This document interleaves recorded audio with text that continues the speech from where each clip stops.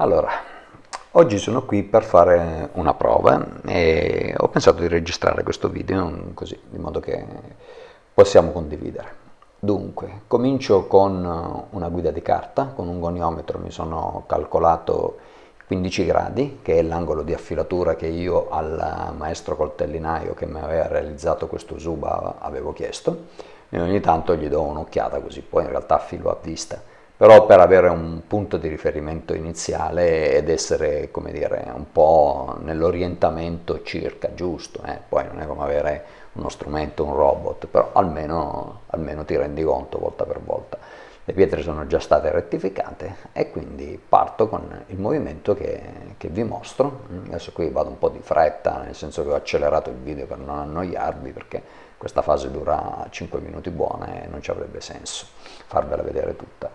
Va bene, fatto un po' di passate, vado a verificare se si è formata un po' di bava sulla, sul lato opposto della, della, pietra. Per controllare la bava io preferisco sempre dargli una sciacquatina perché così insomma, la, sento, la sento meglio. Mm, mi aspetto che ce ne sia un po', eh, perché se non ce n'è vuol dire che non ho affilato niente con una pietra di questo tipo, eh, una grana 600. Mm, devo dire la verità, ce n'è un po' poca e quindi cosa faccio? Decido di continuare con un'altra passata. E quindi si, si ricomincia.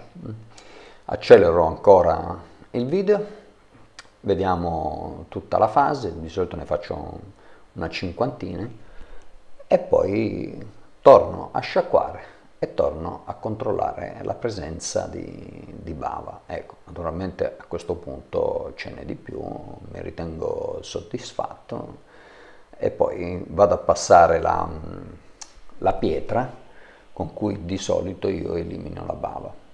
Vado quasi di piatto eh, perché questo usuba ovviamente è affilato solo da una parte, è un asimmetrico ed è piatto dall'altra. Mm, essendo di produzione italiana, per quanto con tecnica giapponese, comunque il lato piatto è piatto veramente, non ha il classico incavo di, dei coltelli asimmetrici giapponesi è difficilissima da fare in Italia perché servono delle mole a larghezza veramente molto, molto ampia, si va addirittura fino a un metro e mezzo e in Italia eh, sono introvabili, uno se la dovrebbe fare apposta per, per fare quel lavoro. E va bene, tutti i controlli del, del caso e, e, poi vado a verificare il pomodorino. Allora qui eh, facciamo la prova, naturalmente il coltello taglia, taglia boh, in modo normale, per quelle che sono le normali esigenze di cucina. Molti cuochi si fermerebbero così. Io verifico su vari lati del, del pomodorino, poi tra l'altro verifico un po' a, in due o tre punti della, della lama per essere sicuro che insomma, la, la filatura sia omogenea. Poi però, siccome io sono un appassionato e non mi accontento del fatto che il coltello tagli, eh, passo alla fase successiva, quindi cambio la pietra, a questo punto mi vedete mettere una 3000, comincia già ad essere una pietra medio fine, normalmente chiamiamo pietra fine le 1000, vado a pulirla con una pietra nagura, quella piccola che mi vedete usare, e a questo punto si riparte nuovamente con, con eh, le passate solite.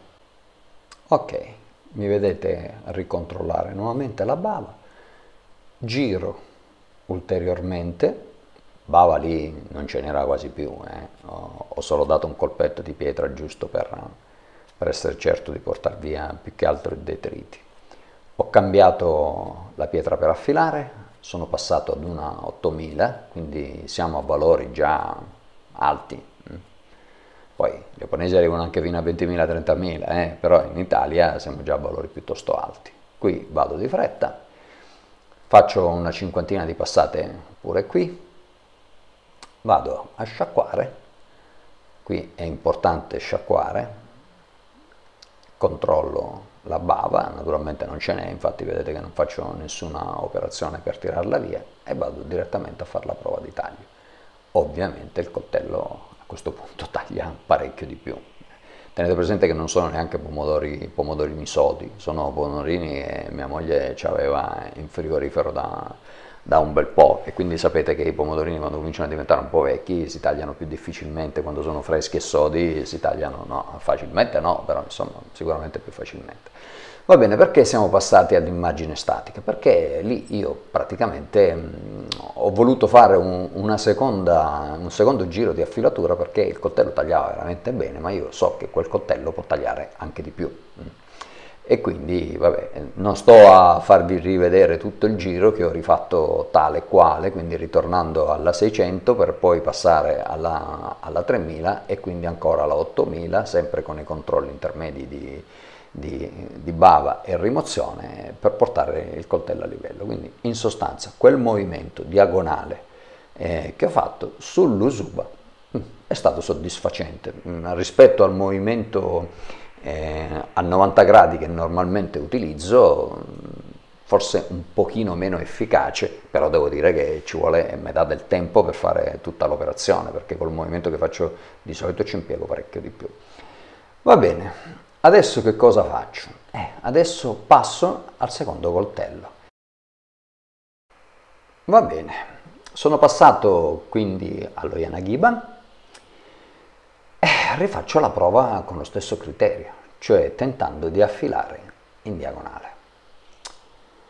Però, guardate, adesso io non vi faccio vedere tutto il video, però ho provato più volte, ma c'è niente da fare, cioè eh, andavo a fare i controlli con, uh, sia per la bava, che si vedeva già in partenza che ce n'era così poca che si capiva che aveva affilato ben poco.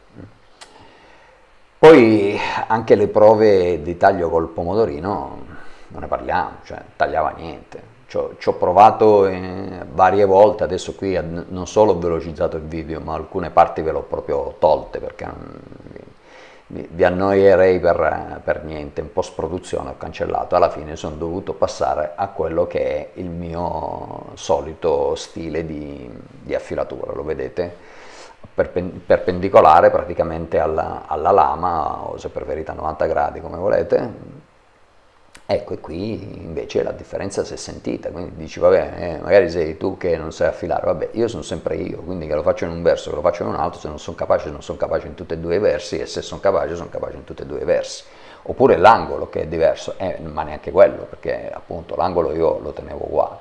Quindi non lo so, eh, diciamo che quello stile sullo Yanagima, su questo Yanagima non mi ha soddisfatto particolarmente, mm, ho deciso comunque di riprovarci, magari nel frattempo provo a sentire un po' i miei maestri affilatori, arrotini, uno il coltellinaio che ha creato il coltello e l'altro invece che si chiama Salvatore, un passato Salvatore Tarantino, e poi provo a sentire anche Leonardo, che è il maestro che mi ha fatto il corso di, di affilatura, per vedere se hanno qualche consiglio, se no eh, niente, poi ci riprovo con più calma, ma se il risultato è lo stesso, torno praticamente ad affilare almeno lo Yanagiba col mio solito stile, che invece ha sempre prodotto il risultato che volevo io.